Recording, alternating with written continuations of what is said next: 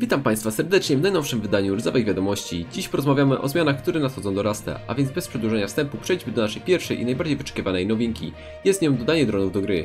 Jakie funkcje pełnią, czy można nimi sterować oraz czy jesteśmy w stanie nimi dorkampić? Spokojnie, na te i wiele innych pytań odpowie nasz dziennikarz XJrzyki, który jest na miejscu zdarzenia. A więc znajdujemy się w placówce, gdzie pojawiła się nowa wielka maszyna, z której wylatują drony. Nowa maszyna jest używana do zakupu rzeczy na odległość. Wszystkie ceny pozostają takie same, jednakże trzeba zapłacić 20 dodatkowego złomu za przesyłkę. Po zakupie jesteśmy w stanie zobaczyć drona, który leci w stronę sklepu, żeby odebrać nasz produkt. Owych dronów nie da się zniszczyć lub zablokować i osoba udzielająca zakupu może zobaczyć, gdzie na mapie jej dron się znajduje. Drony obsługują wszystkie sklepy na mapie, nawet te stworzone przez graczy. Jednakże pod warunkiem, że sklepy nie mają blokującego ich dachu. Kiedy dron wróci z waszą przesyłką, macie 300 sekund, aby odebrać wasze rzeczy z maszyny. I to by było na tyle, jeżeli chodzi o dron. Warto też wspomnieć, że identyczna maszyna pojawi się w obozie bandytów i będzie działać w identyczny sposób.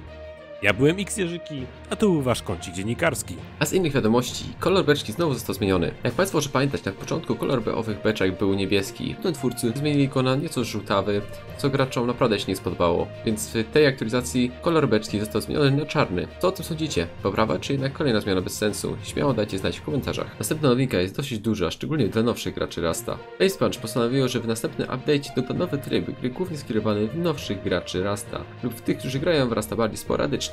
Mianowicie, owy tryb będzie rozgrywany w większości podobnie do standardowego trybu, lecz pojawią się zmiany, które pomogą nowszym graczom. Owe zmiany to maksymalna liczba 4 graczy w jednej drużynie, maksymalna liczba 4 autoryzacji w TC, możliwość spawnów w obozie bandytów i placówce. Cały lud nie będzie tracony przy śmierci, część tego ludu będzie można odebrać w bezpiecznych strefach. I jeszcze wiele innych małych zmian, które mają poprawić grę dla nowych graczy. Wiele z tych rzeczy zawsze może przejść zmiany. Samo Facepunch mówi, że jak na razie chcą tylko przetestować owy tryb i zobaczyć, czy ludziom się spodoba. A co wy sądzicie? Zagralibyście na takich serwerach, czy to jednak nie dla was? Jeszcze raz zapraszam do dyskusji w komentarzach. Kolejna zmiana, która zawita wraz, to nerf dla naszego ulubionego czołga.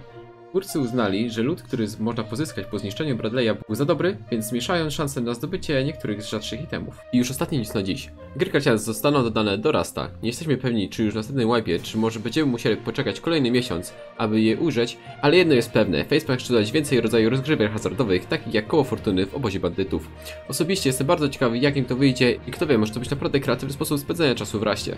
I to by było na tyle, jeżeli chodzi o wydanie wiadomości z tego miesiąca. Specjalne podziękowania dla X który podkładał głos w tym odcinku. Zapraszam na jego kanał serdecznie, robi naprawdę dobre filmiki z Arka. Jeżeli podoba się kontent w tym stylu, zapraszam do subskrypcji kanału. Ja jestem Sikorasz, a Wy oglądaliście Ręcawe Wiadomości.